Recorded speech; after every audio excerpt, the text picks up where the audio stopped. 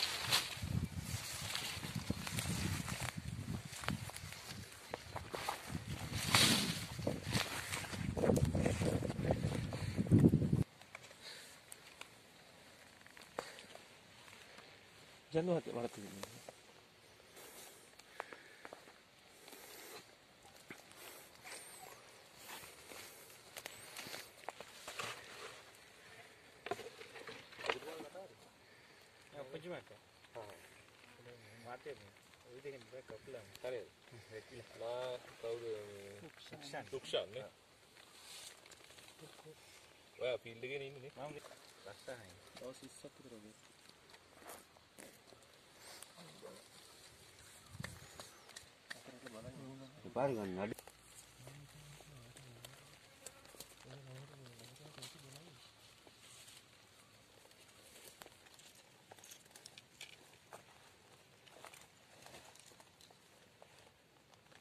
ඒකට හුදකලා කරලා තියලා පොඩ්ඩක් කට්ටි පොඩ්ඩක් කරේට කරාම අම්මා දන්න දැන් පැටවුන්ට අනුතුරක් තියෙන්නේ කියලා. තිබුණා. ඔව්. ඒකට ගත්තා ගත්තා නම් මේ පැටවු ටික අරන් ගියා නම් අම්මට තමයි ඉතින් ගොඩක් හදන්න පුළුවන් ওই පැටවු. තාම කිරි පොඩි. වයසේ පැටවුනේ.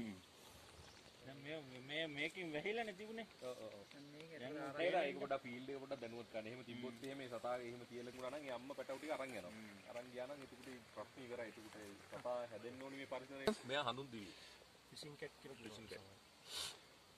වයස ලංකාවේ ඉන්න කොටියට පස්සේ ඉන්න විශාලම මාංශ භක්ෂක සතා. මගේ වයස කොහමද මෙයාට නම් දවස් 20ට අඩු ඉස්සර අඩු කාලයක් තියෙනවා. තාම ගිරිබුණා ඉතින්.